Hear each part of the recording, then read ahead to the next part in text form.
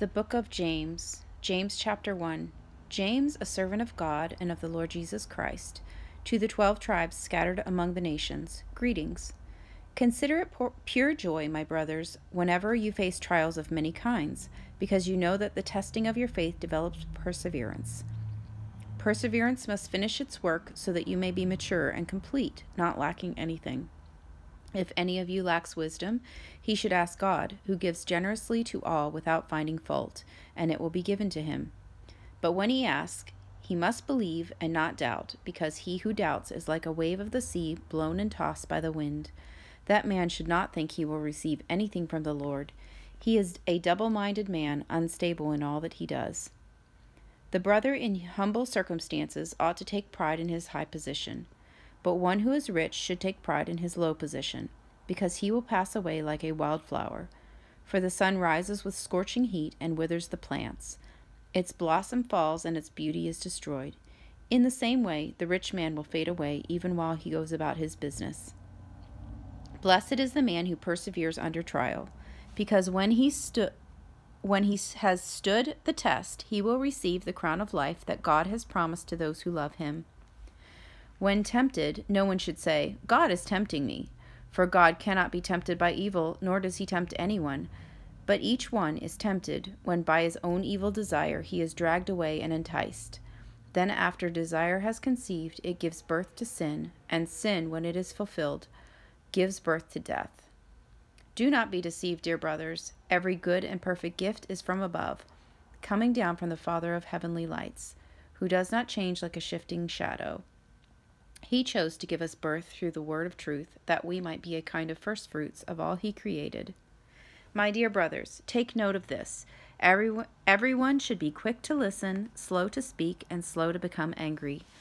For man's anger does not bring about the righteous life that God desires.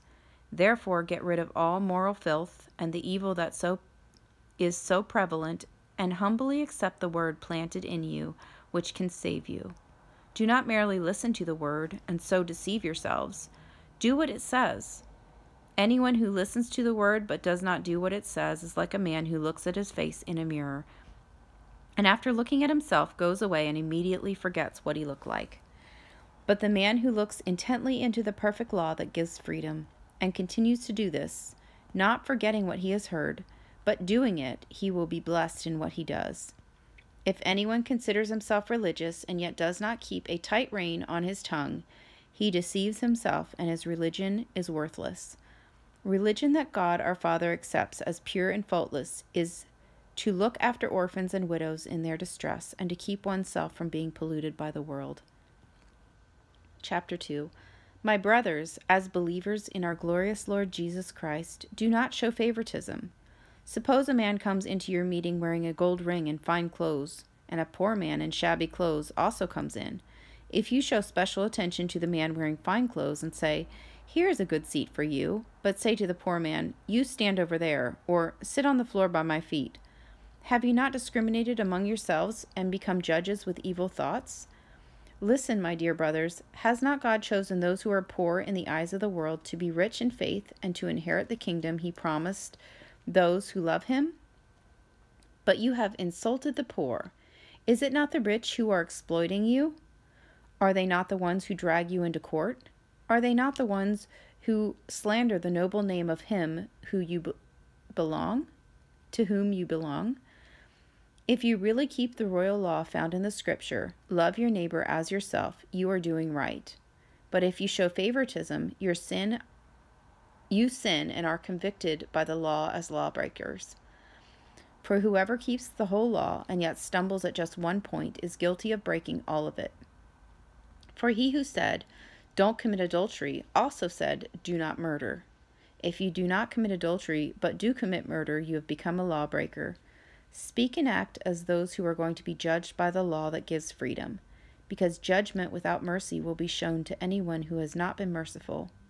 Mercy triumphs over judgment. What good is it, my brothers, if a man claims to have faith but has no deeds? Can such faith save him?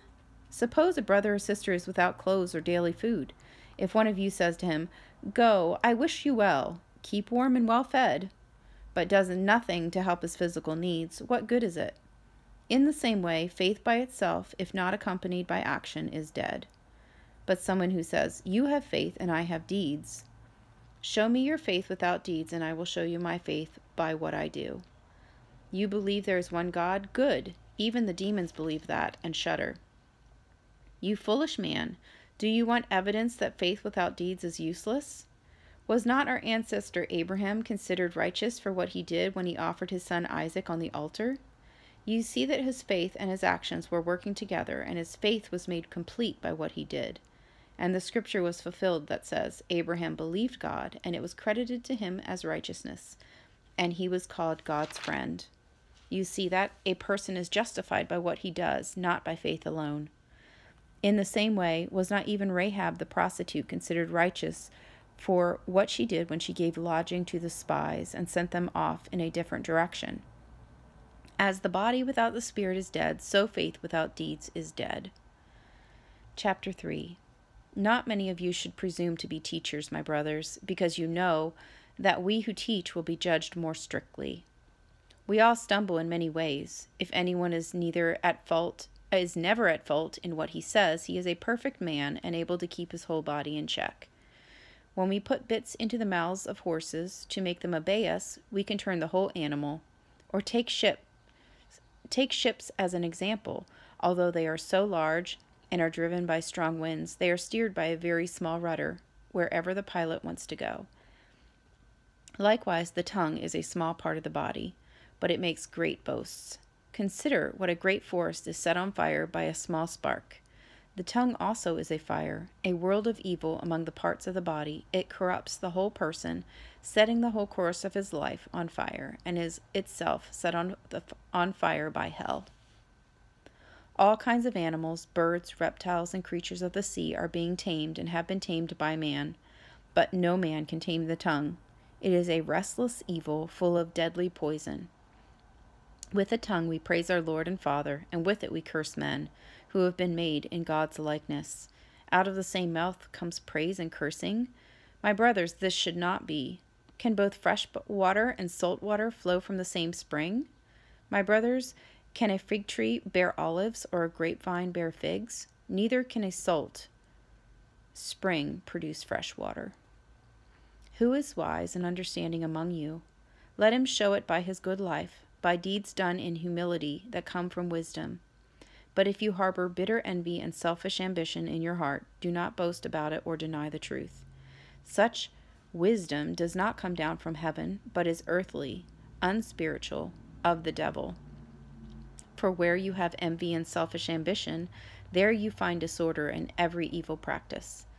But the wisdom that comes from heaven is first of all pure, then peace loving, considerate, submissive, full of mercy and good fruit, impartial and sincere, peacemakers who sow in peace and raise a harvest of righteousness.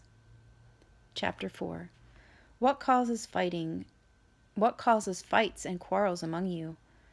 Don't they come from your desires to battle within yourself? You want something but don't you but you don't get it. You kill and covet, but you can't have what you want. You quarrel and fight. You do not have because you do not Ask God. When you ask, you do not receive because you ask with wrong motives, that you may spend what you get on your pleasures.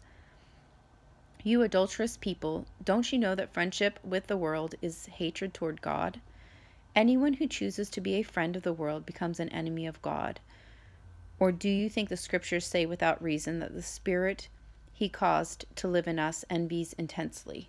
But he gives us more grace. This is what the scripture says. God opposes the proud, but gives grace to the humble. Submit yourselves then to God.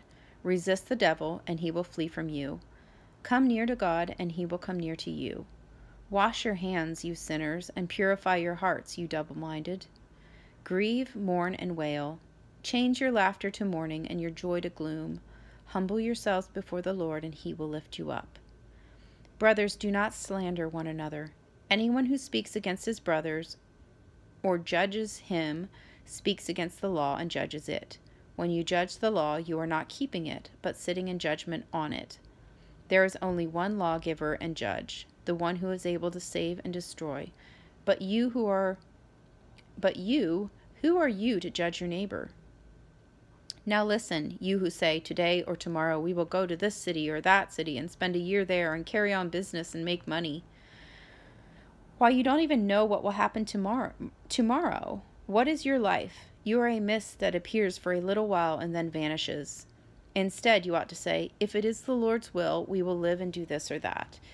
As it is, you boast and brag. All such boasting is evil. Anyone then who knows the good he ought to do and doesn't do it sins. Chapter 5 Now listen, you rich people, weep and wail because of the misery that is coming upon you. Your wealth has rotted, and moths have eaten your clothes. Your gold and silver is corroded. Their corrosion will testify against you and eat your flesh like fire. You have hoarded wealth in the last days. Look, the wages you failed to pay the workmen who mowed your fields are crying out against you. The cries of the harvesters have reached the ears of the Lord Almighty. You have lived on earth in luxury and self indulgence. You have fattened yourself in the day of slaughter. You have condemned and murdered innocent men who were not opposing you. Be patient then, brothers, until the Lord's coming. See how the farmer waits for the land to yield its valuable crop, and how patient he is for the autumn and spring rains.